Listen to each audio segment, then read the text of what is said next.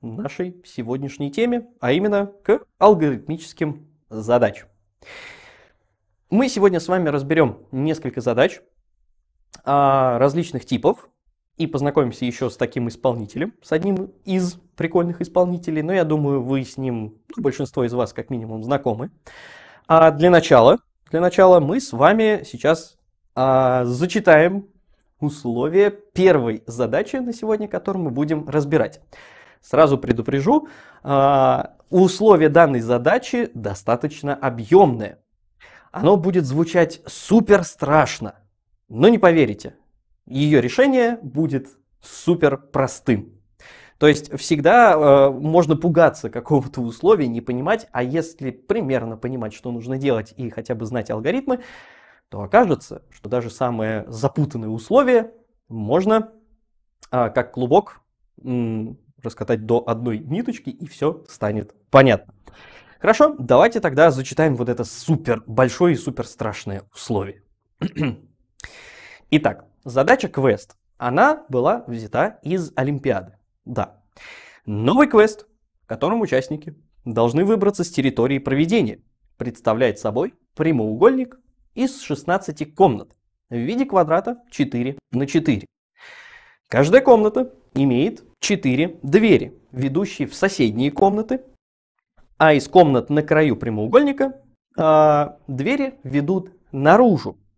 То есть через эти двери можно покинуть проведение, на территорию проведения квеста. Угу.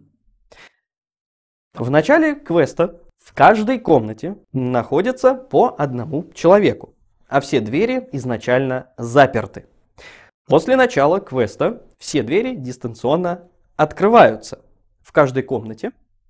А при этом механизм открывает одну из четырех дверей в каждой комнате. И теперь человек, находящийся в этой комнате, может открыть эту дверь и, пере... и перейти в соседнюю комнату. Через другие три двери, соответственно, выйти из этой комнаты нельзя. Уже немножко так, немножко запутанное какое-то условие, но, в принципе, достаточно пока что понятно.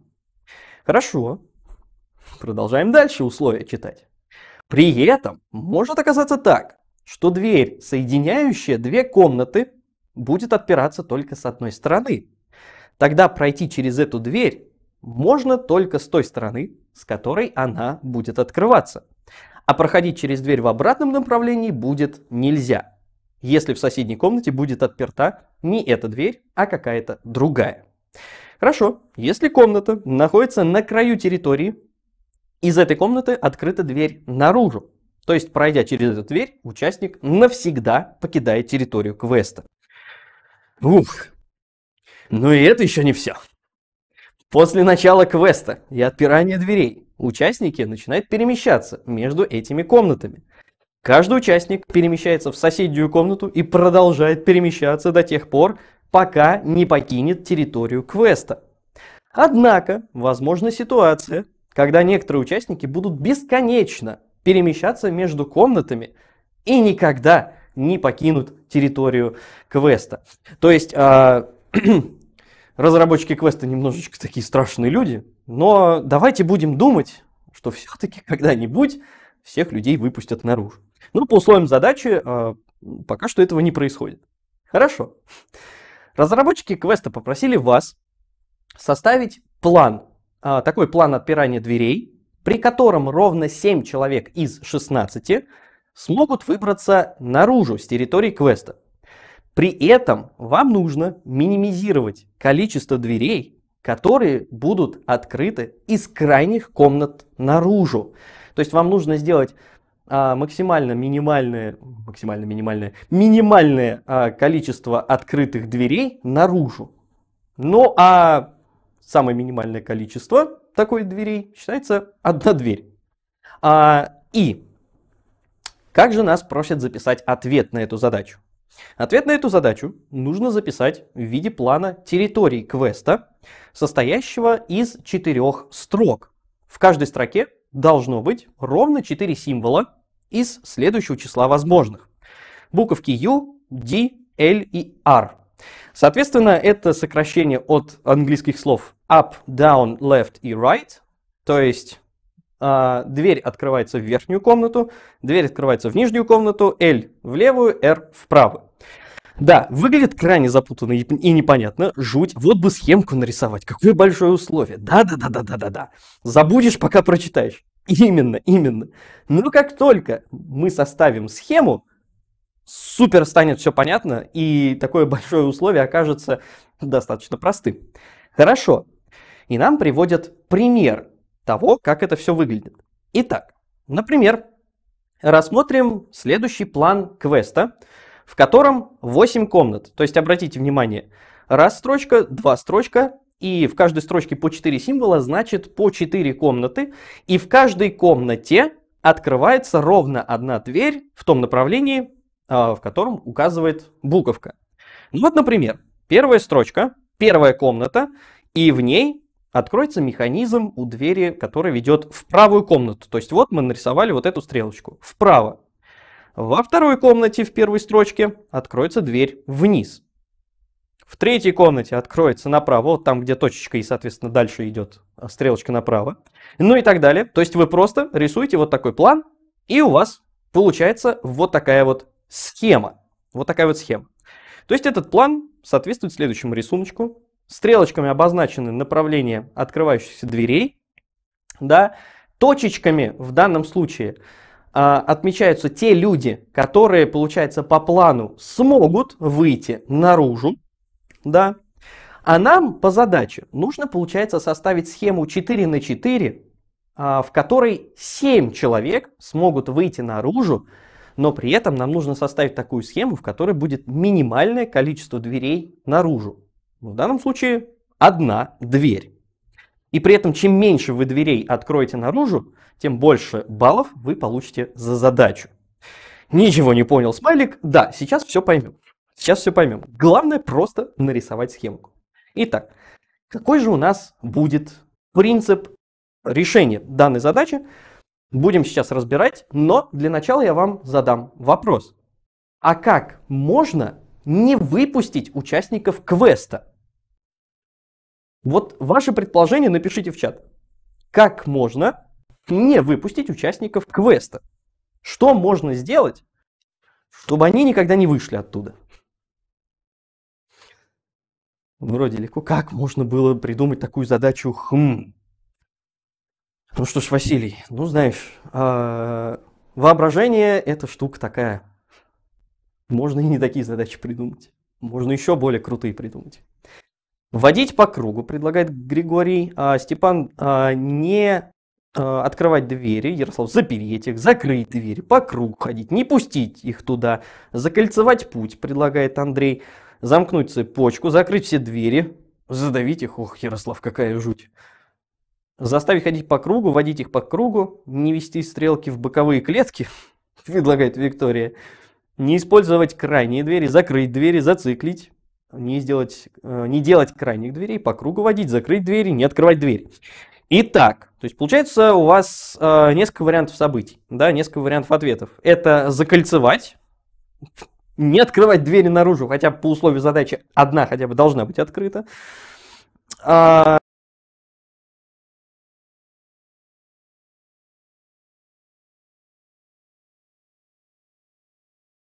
дальше, соответственно, просто закрыть все двери, но это какая-то жуть.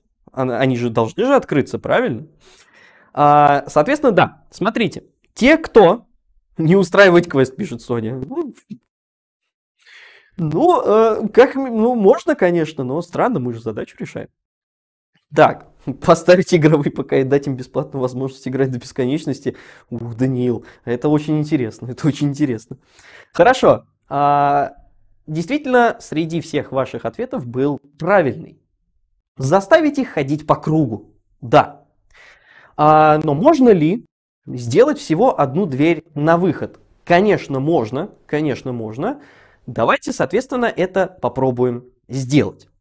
Попробуем сначала с вами сделать э, 7 комнат, которые соединены с выходом наружу. То есть сделать так, чтобы 7 человек действительно точно вышли из квеста. А потом мы уже будем разбираться с остальными комнатами. Итого. У нас получается вот такой вот прекрасный квадратик 4 на 4. И, к примеру, в первой строке, в последней, в последней комнате, то есть в самой правой, мы сделаем выход наружу. Вот он. Итого, а, так как в каждой комнате изначально по одному человеку, еще до запуска, соответственно, квеста, то получается, сделав а, выход наружу, в той крайней комнате в первой строчке один человек как минимум выйдет из квеста, когда он начнется. Но мы же сейчас как раз сделали какой алгоритм? Попробуем сначала соединить 7 комнат и соединить их с выходом. Выход мы сделали. Теперь давайте э, сделаем еще дополнительные 6 комнат, которые соединим с этим выходом. Ну, например, возьмем нашу, опять же, первую строчку и вот третью комнатку, которая вот она вот здесь будет. Соединим ее с выходом. Каким образом? Да просто нарисуем стрелочку вправо. То есть из третьей комнаты в первой строчке при запуске квеста откроется дверь направо. И человек, перейдя в комнату из, перв... Э, из третьей комнаты в четвертую, сможет потом тоже выйти из квеста. Окей, окей. Тогда получается, мы еще можем и другие комнаты примерно так же а, соединить с выходом. Вторую мы соединяем с третьей, первую мы соединяем со второй, то есть, когда проходы везде открыты направо, и первая комната, и вторая комната, и третья оказываются соединенными с четвертой, где есть выход наружу, и, соответственно, у нас уже есть целых четыре человека, которые покинут данный квест. Угу. Окей. Давайте тогда обратимся теперь ко второй строчке. Ко второй строчке, где у нас тоже есть четыре комнаты. Как их можно соединить с выходом? Ну, очевидно, Самая последняя комнатка во второй строке, мы можем там просто открыть дверь наверх. И тогда человек из этой комнаты точно так же попадет э, на выход. Ну и примерно точно так же мы можем поступить и с остальными двумя комнатами. Вот с третьей и со второй, открыв двери точно так же наверх. Итого мы с вами добились того результата, который мы хотели. У нас есть ровно один выход и 7 комнат, которые э, соединены с этим выходом. Угу. Круто. А вот теперь нам нужно сделать так, чтобы в оставшихся 9 комнатах люди стали ходить по кругу и не смогли никак дойти до выхода. Вот попробуйте в чате догадаться, какой самый э, простой способ существует, чтобы закольцевать а, людей, чтобы закольцевать людей, да, чтобы они ходили по кругу. Ваше предположение в чат. Какой же есть самый простой способ сделать так, чтобы люди ходили по кругу? Не так. Так неинтересно. Надо, был лаби... Надо было лабиринт делать. Заказчик будет недоволен. Ну погоди, Данил, ну ведь нас же попросил заказчик сделать ровно 4 на 4 в виде квадрата. И четыре двери в каждой комнате. Так. Так, по нижней части их, плюс комната на втором сверху. Саша, э, так, Александр предлагает туда-обратно. Отделить от комнат с выходом, замкнуть, сделать круг. Так вот, а вопрос-то в том, как закольцевать, то есть как этот сделать круг? Змейка, окружность. Ну, смотрите. Хорошо, хорошо. Ну, ваши предположения я все увидел. Хорошо. Внушить им, что они должны это сделать, чтобы выйти. Жестко, это жестко. Хорошо. А, давайте вот, я вам сейчас прям покажу этот самый простой способ. Самый простой способ это сделать. Сделать две соседние комнаты, которые ведут друг в друга. А остальные комнаты просто привести к этим двум комнатам. Что имеется в виду? Ну, например, возьмем нашу схемку, в которой мы уже сделали 7 выходов, да, вот 7 комнат, которые соединены с одним выходом, а возьмем в четвертой э, строчке, соединим друг с другом вот эти две комнаты. Окей. Если мы их соединили, значит все остальные комнаты нужно как-то э, привести к этим двум комнатам. То есть, по сути, когда э, люди окажутся в этой комнате или же в этой комнате, они начнут между вот этими двумя комнатами просто блуждать, блуждать и блуждать. пока организаторы квеста не выпустят их обратно. Окей. Как мы будем это делать? Ну, очевидно, что вот из этой комнатки нам нужно пойти вниз. Вот из этой комнатки нам тоже можно пойти вниз, а из этой комнатки потом пойти вниз. И так далее. Значит, начнем просто рисовать данную схемку. Сделали раз выход, сделали два выход. То есть теперь вот эти два человека пойдут вниз, пойдут вниз, и в итоге начнут блуждать между двумя вот этими комнатками. Ну, что сделать с остальными, я думаю, вы, в принципе, догадываетесь, что. Из этой комнатки тоже можно пойти вниз. Итого они сразу тоже начнут ходить туда-сюда. Ну и с остальными делаем примерно то же самое. Но, но, вы можете мне сейчас сказать, да, Сергей Олегович, но на самом деле здесь э, у этой задачи ну, достаточно много э, вариантов решения. Не обязательно вот это. А может быть, вот эта комната будет обладать выходом да, наружу. А может быть, она будет вообще обладать выходом налево, а не наверх. Да, и вы будете абсолютно правы. Вариантов решения данной задачи может быть много. Но основная идея у них будет одна. Вы сначала делаете комнату, которая с выходом, с одним выходом, соединяете э, максимально возможное да, количество комнат по задаче, которую вам нужно сделать, с этим выходом, а остальные комнаты вам нужно закольцевать. То есть создаете, допустим, две комнаты, у которых есть проход туда-сюда, и все остальные комнаты вводите, соответственно, в эти две. И все, задачка будет решена. И задачка будет решена. Единственный момент, единственный момент, помните, как вас просили в задаче э, писать результат? Вас просили писать результат буковками, да, то есть вот прям строчка букв. В данном случае, вот в первой строчке это будет R, R, R э, и, соответственно, U. То есть здесь дверь открыта направо, здесь дверь открыта направо, здесь дверь открыта направо, а в четвертой наверх. Да? И вот так тут вы составляете данный план квеста. Главное, не забудьте, как правильно писать ответ задачу. Не нужно схему рисовать, а нужно буковками все это указать. Хорошо? Тогда, соответственно, ребятушки, если вам стало понятно, как решать такую задачу, хотя, казалось бы, условие просто какое-то очень мудренное и навороченное, Поставьте девяточку в чат. Если внезапно задача оказалась простой и понятной. Девяточка в чат. А где происходит запуск людей? А он изначально как бы есть. Так, ну вот, девяточки в чат полетели. Девяточки в чат полетели. Здорово, здорово, здорово. Прекрасно, прекрасно. Прекрасно. Хорошо, хорошо. Здорово, здорово. Хорошо, тогда мы с вами сейчас перейдем к следующей задаче, к следующей олимпиадной задаче, которую мы с вами будем разбирать. Она также взята из Олимпиады, и у нее название Манхэттен. Вот так. И звучит она достаточно коротко, достаточно коротко. Итак, кварталы Манхэттена состоят из авеню, направленных с юга на север. То есть авеню это э, такие улицы, которые идут, получается, с севера, э, с юга на север. Хорошо. А также кварталы состоят из улиц, которые направлены с э, запада на восток. С запада на восток. При этом все улицы и авеню пронумерованы числами, начиная с единицы. То есть первая улица, вторая улица, третья улица, первая авеню, вторая авеню, третья авеню и так далее.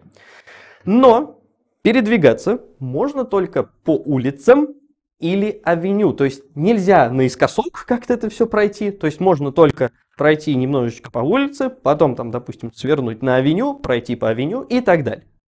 Хорошо. Ну тогда мы э, нарисуем данную схемку.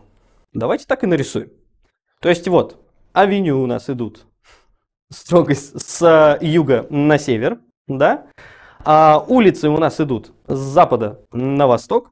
Итого у нас есть вот примерно такая схемка, которая может быть э, до бесконечности, да? Ну, в зависимости от того, как звучит задача.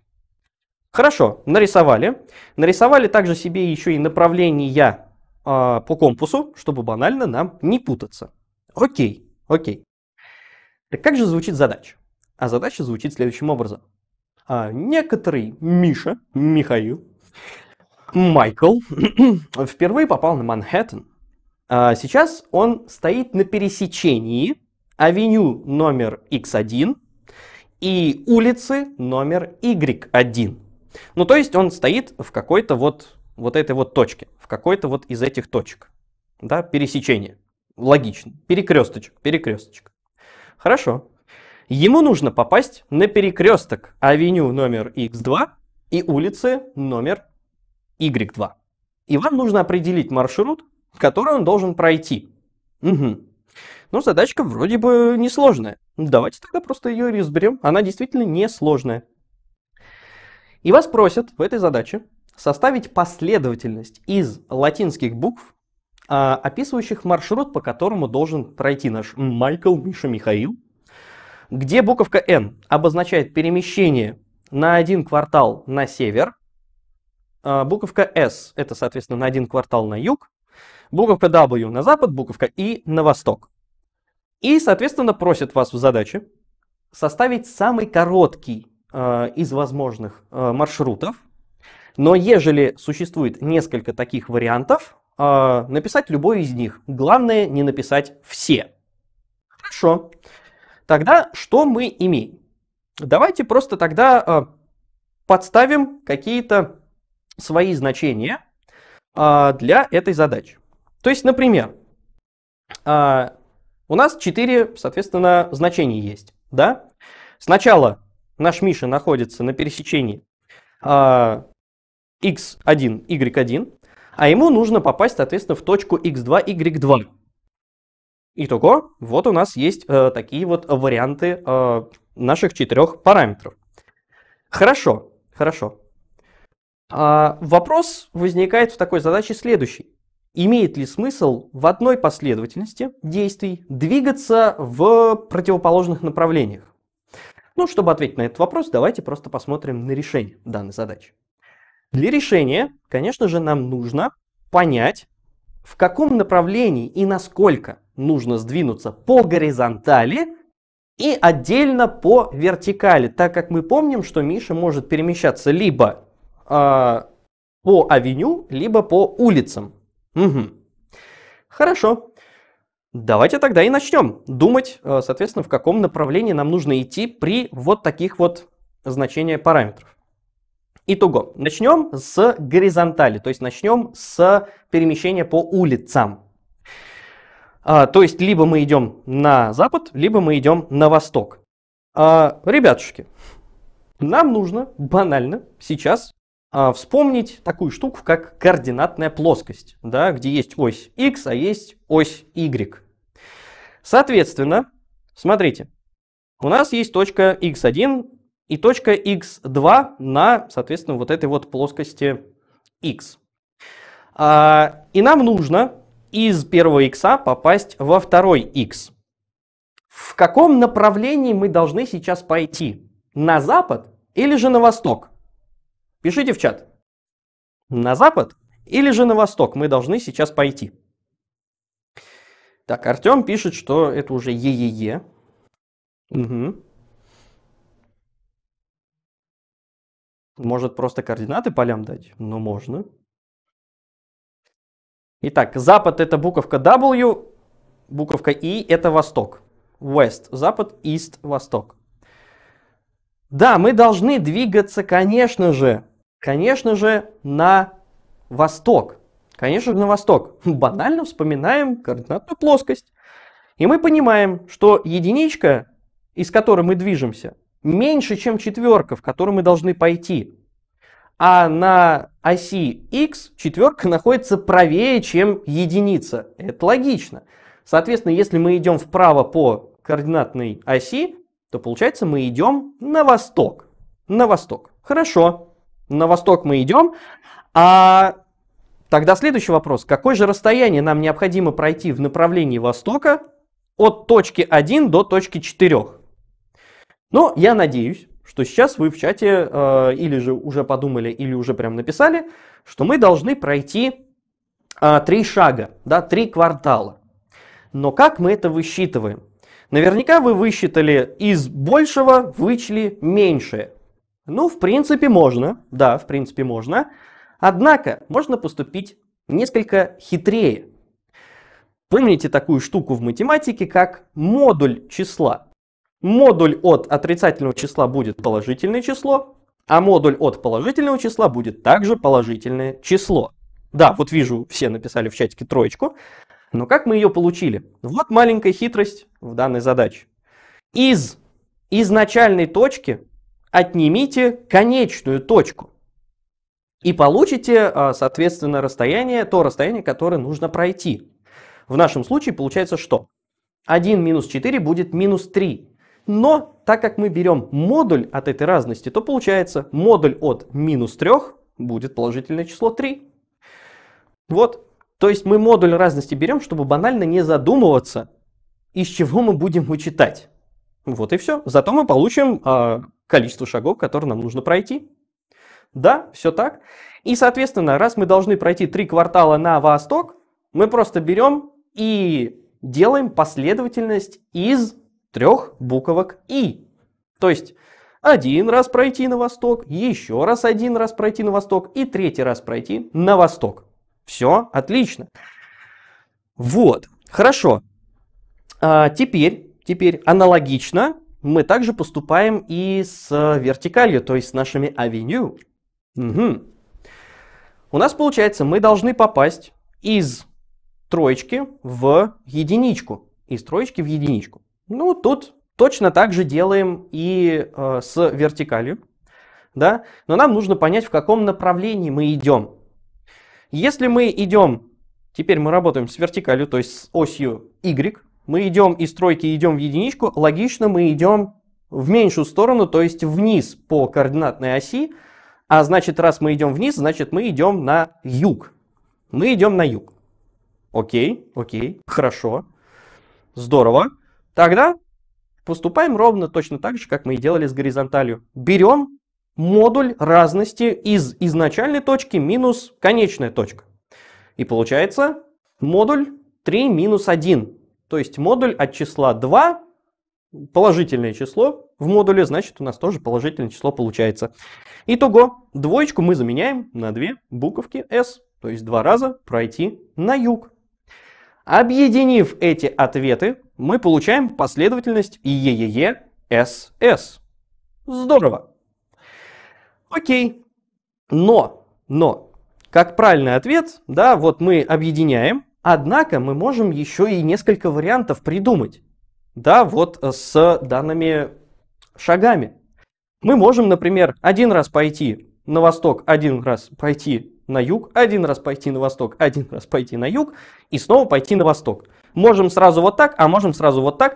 То есть, как вы видите, у задачи может быть несколько вариантов решений, а вас в условии как раз об этом предупреждали, что если вдруг есть э, несколько возможных вариантов развития событий и особенно по минимальным маршрутам, то пишите один из них, но не все разом, просто один из них.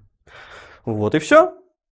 Итак, поставьте восьмерочку в чат, если а, все было понятно с этой задачей.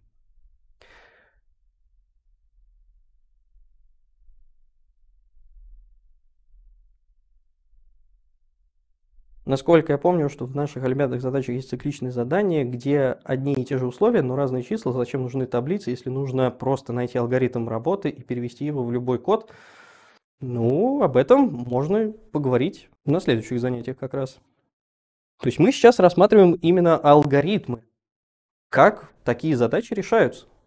Выискиваем вот эту вот взаимосвязь, а потом, конечно же, любой алгоритм можно перевести и в программный код. Никто не запрещает этого делать. Восьмерочки полетели в чат, здорово, здорово, круто, круто. Тогда э, мы можем немножечко поупражняться. Немножко поупражняться и, соответственно, давайте решим эту же задачу только с другими значениями координат. Я вам даю, давайте, две минутки, две минутки, чтобы дать ответ вот на эту задачу.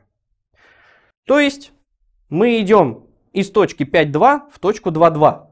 Какой же должен получиться ответ на эту задачу?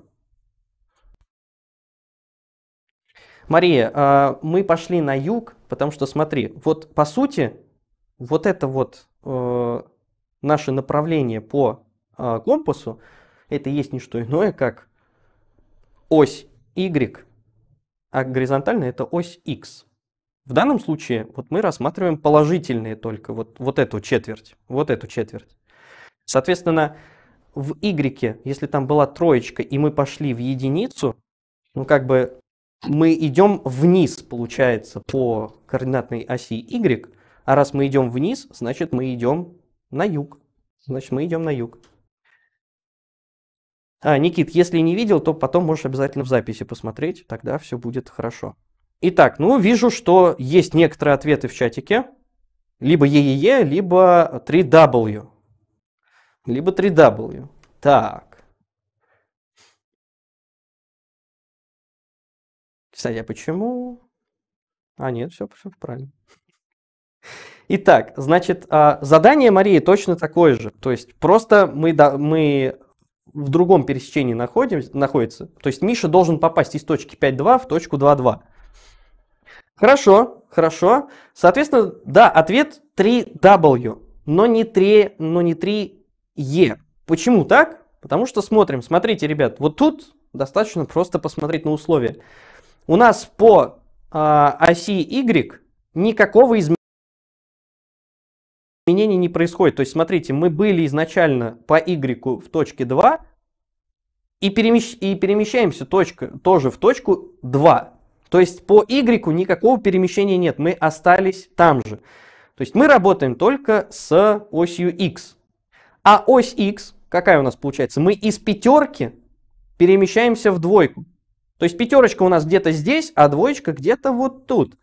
Соответственно, раз мы идем из пятерки в двойку, то в каком направлении вот мы движемся? Конечно же, справа налево, а раз справа налево, то мы идем на запад. Идем на запад. А сколько раз мы идем на запад? 5 минус 2, модуль, получилось 3, модуль от 3 равен 3. Соответственно, мы меняем троечку на 3 буковки W. Да, вот такие моменты.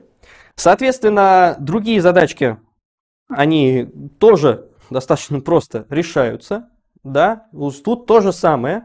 Смотрите, раз мы э, по x идем из двойки в шестерку, то есть мы идем слева направо, то получается мы идем на восток. Сколько мы должны пройти на восток? 2 минус 6 будет минус 4, но модуль от минус 4 будет 4. Соответственно, это будет 4 буковки Е. А что в плане у нас Y?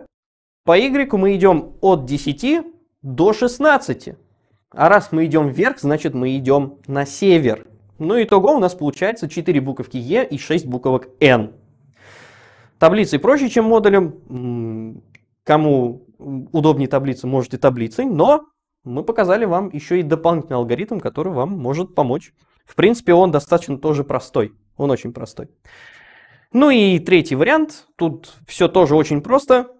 Из тройки идем в пятерку по x, соответственно, из меньшего в большего, поэтому это будет поход на восток. А по y из четверки идем в шестерку. То есть, опять же, из меньшего идем в большую, соответственно, мы идем на север, и везде разница будет 2, поэтому два раза на восток, два раза на север. Вот, соответственно, Манхэттен, такая задачка такого плана решается вот с помощью такого алгоритма. Тогда, ребятушки, давайте э, в чатик поставим буковку М от слова Манхэттен, если все было понятно и вы поняли, в принципе, этот результат. Вопрос, а можно записать это как 4E6N? Даниил, смотри всегда на условия задачи. Если так можно записывать по условию задачи, можешь сокращать. Если говорят не сокращать, значит не надо сокращать. У нас получается, что y-ось перевернута. Нет, почему? Мы просто, смотрите, вот, вот, вот, как бы вам так закрыть-то это все. Вот, мы работаем только, по сути, вот с такой вот штукой. Мы работаем вот с этой четвертью координатных осей, то есть вот он x идет сюда, а y идет сюда. Но как бы направление востока и юга никто не отменял. Если вы идете из, из большего в меньшее по оси x, это на запад, А из меньшего в больше, то есть слева направо, вы идете на восток. Все логично. И то же самое вы просто делаете с севером и югом. Вижу очень много буквок М. Это здорово. Это прекрасно. Хорошо? Хорошо. Тогда мы переходим с вами к следующей задаче, которую мы будем сейчас с вами разбирать.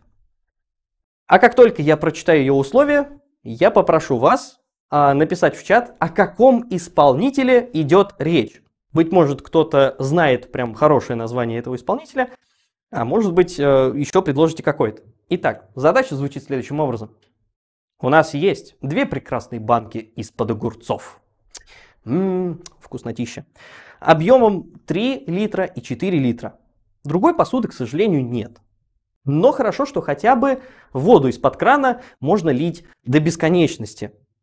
Помогите нам налить ровно 2 литра воды, используя только вот эти две баночки. Какой же исполнитель здесь прячется в этой задачке? Может быть, кто-то знает? Напишите в чат. Что же это за исполнитель такой?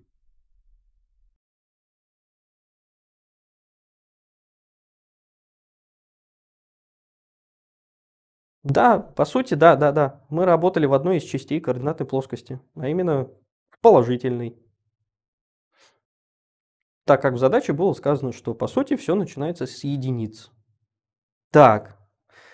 Перевернутый смайлик предлагает, что это водолей. Ставр тоже спрашивает, водолей? А Тимофей заявляет, это водолей. Мария тоже водолей, Ярослав водолей. Да, да, да, дорогие друзья, мы встретились с задачами на исполнителя водолей. Ну, кто-то еще его называет переливальщик, да, и так далее. Водолей сложная штука. Э, нет, она сводится достаточно к простому алгоритму. К простому алгоритму.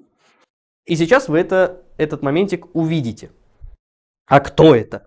Виктория, водолей это тот, который переливает вот как раз-таки из банок в банки, получая какие-то литры, например по задаче. С чего же мы начнем алгоритм данной задачи? Данной задачи. А начнем мы с самого простого. С построения таблицы. С построения таблицы. И выглядит она следующим образом. У нас есть три столбца и некоторое количество строк. А откуда мы взяли вот определенное количество столбцов? Давайте разбираться. А не, я про то, что он поет. Водолей. Нет, странно, странно, странно. Нужно из третьей банки перелить в четвертую, потом еще раз перелить третью банку в четвертую, и из третьей банки останется 2 литра. Софья там уже, по-моему, решила задачу. Но, а, смотрите, кто-то уже знает этот алгоритм, кто-то уже сейчас попытался решить эту задачу и получил результат, но давайте ее рассмотрим вот прям рентгеновским зрением и составим алгоритм, который вам поможет всегда в таких задачах. Итак, а как же мы получили три столбца а, в данной таблице? Да все просто. Смотрите, у нас ведь есть две баночки, 4, 4 литра, 3 литра. А третий столбец это будет шаги. Шаги в нашей программе, которые мы должны, грубо говоря, написать. Да, шаги алгоритма. Шаги алгоритма. Хорошо. Тогда ответьте мне на вопрос. А сколько воды изначально было в банках? Вот сколько воды изначально было в банках? Достаточно очевидный ответ должен быть, надеюсь. А, кстати, водолей лучше решать таблицы, да? Чтобы было более наглядно. Так, Степан предложил 7. М-м-м, видимо, не очевидный ответ. Окей. Так, ну вот Ярослав предложил 0, Миша 0, Ярослав 7, Женя тоже 7, Виктория бесконечно изначально в банках 3,4 литра было бесконечное количество жидкости. А это как? Интересно даже предположить, вот почему 3 литра и 4 литра это бесконечность. Это очень странно. Ладно, 3, сказал Степан. Нет. Так, те, кто написали ноли, конечно же, конечно же, изначально банки пустые. Изначально банки пустые. А нам говорят, вот у вас есть неограниченное количество воды, Сделайте так, чтобы в одной из банок оказалось 2 литра. Хорошо. Ну что мы начнем тогда делать? А, наполним тогда любую из банок. Давайте начнем с большей. сколько литров мы можем в нее налить. Вот тут, э, смотрите, всегда с э, исполнителем водолей могут возникать трудности в понимании. Ну, вы можете сказать, ну погодите, ну 4 литра и 3 литра есть, и неограниченный запас воды. А чем мы не можем сразу 2 литра налить в банку, в любую? Задача вроде бы как простая. Просто, просто налил и налил. Но в задаче же не сказано, что у каждой банки есть, соответственно, какое-то деление. То есть литр, 2 литра, 3 литра и вот 4. Нет, никаких делений нет. Вам просто известно, в эту можно налить 4, в эту можно налить 3. Никаких делений нет, но нужно получить 2. Соответственно, традиционно в таких задачах наливать можно э, в банку до тех пор, пока а, она, соответственно, не заполнится. Либо пока не опустеет сосуд, из которого мы переливаем. То есть, смотрите, вот у нас, допустим, была банка 4,3 литра, мы налили, в четв... мы налили в банку А, в которой 4 литра. Значит, мы налили ровно до краев 4 литра. Если мы бы наливали в баночку 3 литра, то мы бы налили ровно 3 литра. И все, не больше. Если бы мы бы в этот момент из полной банки трехлитровой перелили бы в 4-литровую, то, соответственно, мы бы перелили ровно 3 литра из 4 доступных, а в этой банке бы осталось 0. Но давайте просто лучше иллюстрировать это все на табличке. Итак, начнем с большей. Да? То есть мы налили в баночку А 4 литра. Во второй у нас все по нулям. Дальше, по а, некоторым, я думаю, догадкам, вы понимаете, что из большой банки мы переливаем в маленькую. Ну, потому что, а иначе что нам еще делать? Мы перелили, и получилась у нас следующая картина. 1 и 3. Угу. Берем мерный стакан и льем. Да, ну был бы советский граненый стакан, конечно, можно было бы просто 10 таких стаканов налить, и получилось бы 2 литра. Ну, а в задаче у нас другое. Хорошо, а что нам дальше делать? Наливать еще раз в 4 смысла не имеет. Переливать из Б обратно в А? А зачем? Мы это уже делали. Тогда получается у нас два варианта. Либо мы выливаем оставшийся литр из банки А, либо выливаем полностью заполненную банку Б. Давайте выльем из полностью заполненной банки Б. То есть мы просто вылили на землю, вот просто в пустоту. Итого у нас получилось 1 литр в 4-литровый и 0 литров в 3-литровый. Переливаем оставшийся литр в маленькую баночку. А что же мы будем делать теперь дальше? А давайте попробуем просто повторить ровно те же действия, которые мы с вами делали. То есть заполнить большую, перелить в маленькую, вылить из маленькой и так далее, и так далее. Давайте проделаем. Снова наливаем в большую, переливаем максимально возможное количество в баночку B, и вуаля! Смотрите, что мы получили. Мы получили в банке А 2 литра. Вот. Это как минимум первое решение. Как минимум первое решение. Мы заполняли сначала большую. А теперь давайте попробуем то же самое сделать, но только начиная не с большей банки, а с меньшей банки.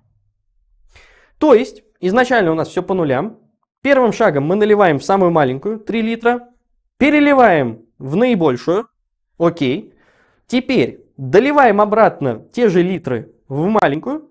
Переливаем максимально возможное количество в большую, и внезапно мы получаем тоже ответ. Притом несколько короче, чем в первом варианте. То есть у нас тоже все получилось. Круто! Но если мы объединим все вот эти вот два решения, мы можем сформировать алгоритм, который поможет при решении таких задач. И он супер простой, который сводится ровно к трем действиям. Ровно к трем действиям. И если первый сосуд пустой, наполняем его, переливаем из наполненного первого сосуда во второй. И если получилось так, что второй сосуд заполнен, выливаем из него полностью все. Если что-то в первом при этом осталось, переливаем в маленький. То есть, по сути, вот супер простой алгоритм для решения любой задачи на исполнителя водолей. Вы можете сейчас прям сделать скриншотик или же запомнить, или же как-то быстренько это все зафиксировать. Вот, супер простой алгоритм. Хорошо, хорошо. Ну а теперь давайте тогда решим еще одну какую-нибудь задачу, а, пользуясь именно этим алгоритмом. Угу. Проверим, так сказать, его на универсальность, а точно ли алгоритм подходит. Итак, решим еще одну задачу. У нас есть снова две прекрасные банки из-под огурцов, только теперь других э, объемов. Первая банка у нас 6 литров, вторая банка 3 литра. И нам снова говорят, у вас есть неограниченный запас воды, и вам нужно получить 2 литра жидкости в одной из банок. Окей, хорошо. Давайте возьмем наш алгоритм. Мы рисуем таблицу. Вспоминаем, да, что начинаем все с таблицы. Так как у нас две баночки, то получается у нас три столбца. Первый это шаг, второй э, и третий это, соответственно, баночки. Ура! Создали. Вспоминаем алгоритм. Если первый сосуд пустой, наполняем его. Давайте начнем с большей баночки. 6, 0. Хорошо. Дальше по алгоритму мы переливаем из первого сосуда во второй. Получаем 3,3. Дальше. По алгоритму, если второй сосуд заполнился полностью, то мы выливаем в пустоту из него. Получаем 3,0. И, соответственно, раз у нас а, получилось так, что что-то осталось вот в большом, то мы его, по сути, переливаем обратно в маленький. А по алгоритму у нас получается что? Внезапно во втором сосуде он снова наполнен. И мы из него должны вылить по алгоритму. И мы это делаем. Вот незадача. Это что же, алгоритм не работает? 0-0? Мы вернулись в обратно в исходное состояние?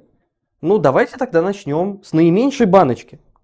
Может быть, все-таки здесь алгоритм сработает? Давайте проделаем эти шаги. То есть наливаем, переливаем, доливаем, Э, снова доливаем, и если второй сосуд заполнился полностью, то мы из него тоже все выливаем и получаем тоже снова все по нулям. Вот не задача. И что-то здесь не работает опять же что-то. То есть мы снова вернулись в начальное состояние. Ну что ж, это что ж получается, Сергей Олегович наврал. Алгоритм универсальный, но он не работает. Однако, смотрите, Алгоритм действительно рабочий, он действительно универсальный. Но в некоторых случаях, как в данном, невозможно получить результат по данному алгоритму. Да и в принципе не получится получить результат, как бы вы ни старались. Разберемся, получается, как можно узнать изначально, просто прочитав условия задачи, не применяя еще этот универсальный алгоритм, мож, как можно понять, можно ли ее решить? или же она нерешаемая? Ребятушки, а теперь вспомним немножко математики и напишите-ка в чат а, плюсик, если вы знаете три волшебные буковки. НОД. Н-О-Д. Плюсик в чат, если вы знаете, что такое НОД.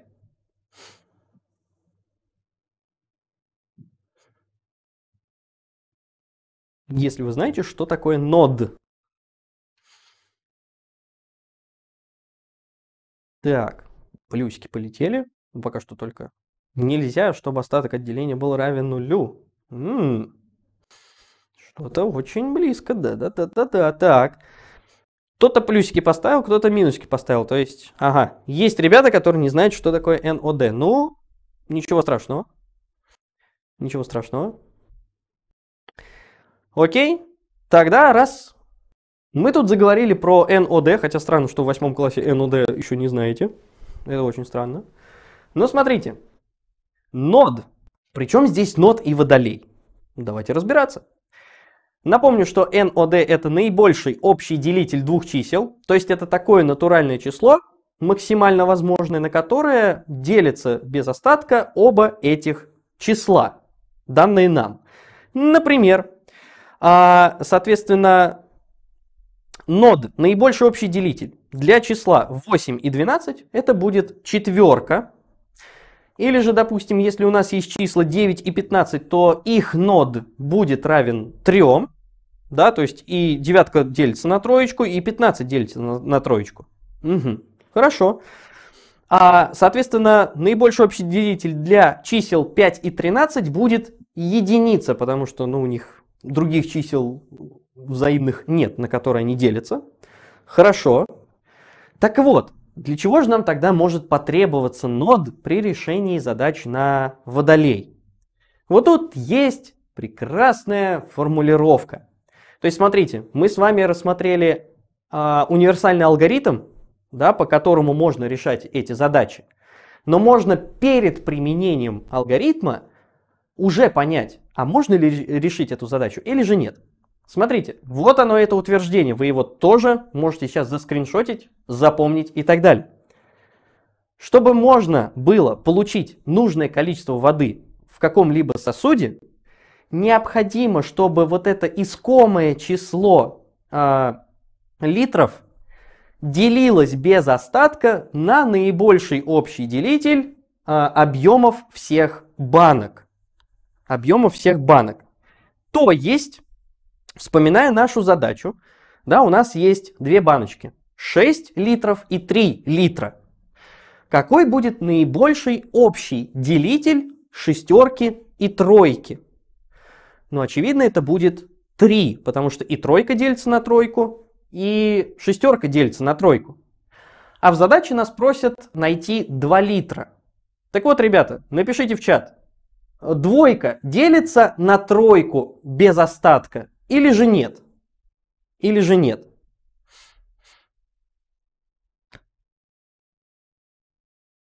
Да, вот вижу, что да, у нас маленькая затяжка, конечно, есть. Да, наибольший общий делитель 3 и 6 будет 3.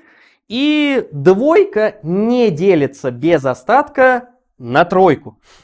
Потому что будет дробное число. Это, это дробное число. А, дважды 3 понятно, но это не целое число, ребят. Это не целое число. А, вот и ответ. То есть вы можете изначально взглянуть на объемы банок, и э, если у задачи там, вас просят, допустим, найдите вот такое-то количество литров, находите наибольший общий делитель объема банок и делите э, искомое число на этот нод. Если делится без остатка, то значит число найти можно. Если нет, то, соответственно, нельзя. Окей, то есть давайте поупражняемся немножко быстренько. Смотрите, ответьте мне прямо на вопрос в чатике. Можно ли, используя сосуды вместимостью 15 и 25 литров, отмерить 5 литров воды?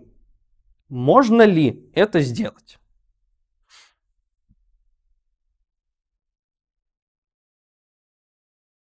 Так, Степан, Миша, Миша, Степан. Говорят, что да, да, конечно можно. Почему? Потому что наибольший общий делитель 15 и 25 будет пятерка. И 15 делится на 5 без остатка, и 25 делится на 5 без остатка. А нам нужно отмерить 5 литров воды. Пятерку мы делим на этот наибольший общий делитель. Пятерка делится на пятерку без остатка, значит отмерить можно. А если бы нас спросили вот в этой же задаче, можно ли этими же сосудами отмерить 4 литра воды, вот тут мы бы сказали нет, потому что 4 не делится на 5 без остатка. Получается дробь 4 пятых, это не целое число. Дальше есть, допустим, задачка, можно ли отмерить 7 литров воды, используя сосуды на 13 и 14 литров. Хм, вот тут ответ достаточно простой. Смотрите, находим наибольший общий делитель для чисел 3 и 14. Какой же он будет? Хм. А, ну, 3 делится на единичку и 14 делится на единичку. Тройка не делится на двойку, а, но 14 делится на двойку, значит двойка все равно не подходит. 3 на 3 делится, а 14 на 3 не делится. Значит, наибольший общий делитель для этих двух чисел будет единица, а семерку можно поделить на единицу без остатка. Значит, семерку найти можно, используя вот эти два сосуда. 3 и 14 литров. Вот. Соответственно, исполнитель водолей, как вы можете заметить, не такой уж и сложный. У вас есть универсальный алгоритм, и у вас есть изначальная проверка задачи. Можно ли соответственно, получить то или иное число, используя вот эти сосуды. Вот, у вас целых теперь два варианта, как можно решать данные задачи. Первый вариант, это вы, соответственно, просто применяете алгоритм и понимаете, что либо получается, либо нет. Либо же второй вариант, вы изначально проверяете ноды, да, проверяете, можно ли найти то или иное количество э, литров благодаря этим двум сосудам, а затем применяете алгоритм и находите. Окей. Хорошо. Тогда смотрим. Еще одну задачку. Буквально ее рассмотрим, потому что она может попасться, такая задачка. И после этого будем э, завершать наше занятие. Угу. Нет, нет, нет, ребят, 3 литра и 14 литров. Все правильно, все правильно. Не 13. 3 литра. Все правильно. Итак, разберем еще одну задачку. Тоже водолей, но только вот в чем прикол. По условию задачи у нас целых три сосуда. Емкостью 14 литров, 9 литров и 5 литров. В большем сосуде 14 литров молока. В большем это имеется ну, в самом большом. Да? 14 литров молока – а остальные сосуды пустые. И как можно с помощью этих сосудов разлить молоко пополам? Что такое пополам от 14 литров? Надеюсь, э, вы сможете это посчитать. 14 на 2 будет 7. То есть нам нужно сделать так, чтобы в двух сосудах оказалось по 7 литров. По 7 литров. Угу. В отличие, получается, от предыдущих задач, у нас, во-первых, количество молока ограничено 14 литрами, так еще и 3 сосуда. Угу. Ну, давайте попробуем воспользоваться нашим привычным алгоритмом для решения водолея. Только вместо полного выливания в пустоту мы будем делать следующее. Мы будем возвращать молоко в больший сосуд. В больший сосуд. Что имеется в виду? Давайте посмотрим. То есть наша задача, как я уже и говорил, сводится к тому, чтобы в двух сосудах получилось по 7 литров молока, так как 14 поделить на 2 будет 7. Логично. Итак, рисуем нашу табличку. То есть изначально у нас было 14 литров. И по алгоритму что мы делаем? Мы из большого переливаем в наименьший сосуд. Получается 9,05. Дальше по алгоритму мы помним, что если второй сосуд заполнился, то и, и, и его нужно вылить. Но мы помним, что в этой задаче молоко ограничено, поэтому просто так его выливать в пустоту нам не надо. А просто вот из этого меньшего сосуда, из С, выливаем в больший. А какой для него будет больший? Ну, очевидно, будет B. Почему? Потому что если мы обратно вернем 5 литров молока в самый большой, то задача уже не имеет смысла. Получаем 9,5,0. Хорошо. Дальше. Снова мы из большого выливаем в маленький.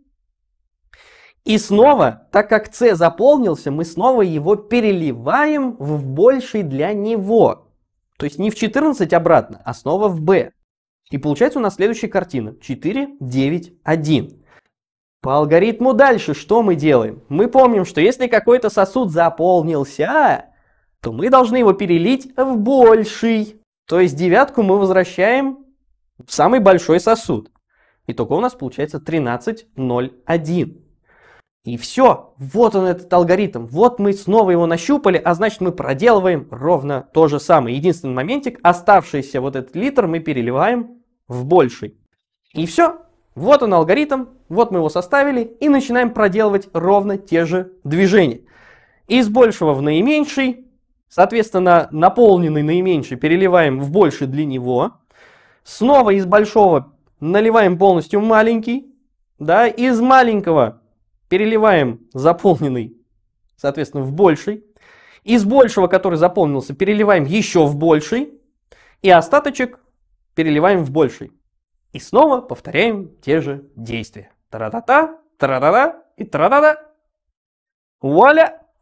И мы получили в двух сосудах по 7 литров. Да, табличка получилась чуть больше, ну потому что у нас банально три сосуда, как минимум. Но зато, благодаря таблице, мы все прекрасно увидели, и наш алгоритм действительно работает. Действительно работает. Поэтому следите внимательно за условием задачи. Если у вас неограниченное количество воды, то вы, соответственно, выливаете, А если у вас ограниченное количество э, какой-либо жидкости, то вы, соответственно, переливаете в больший сосуд, чтобы банально это все не терялось. Вот, водолей не такой уж и страшный, как могло показаться на первый взгляд. Соответственно, ребятушки, поставьте тогда буковку В от слова водолей, если все эти задачи были понятны. На водолее.